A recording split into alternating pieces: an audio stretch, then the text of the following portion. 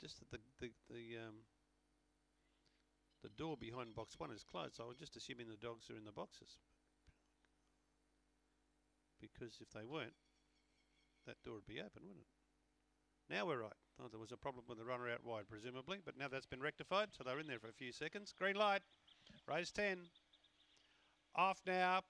And near the inside, Pan Yoko came away well, joined by New York City. Running up to third, Fortune Faded with a very good run. Followed there by Dark Defender, Dewhast, and then Havana Black. The other pair got into trouble. Dorigo and Elegant Strider up near the bend for home. Taking over Fortune Faded from New York City, coming after it. Fortune Faded in front though. Fortune Faded from New York City. Dark Defender flew and got third in front of Dewhast and Pan Yoko.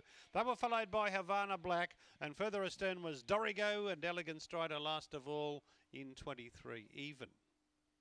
Leslie Green gets a double for the night. Two fortune faded, $9 and a dollar.